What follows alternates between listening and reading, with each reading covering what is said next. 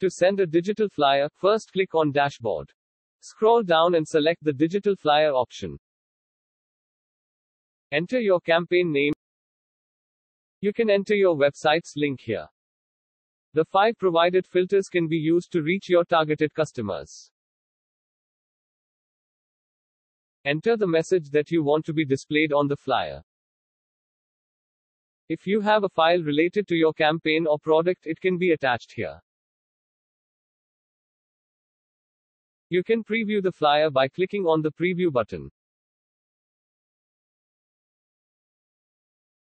Click on Submit and complete the purchase process of credits.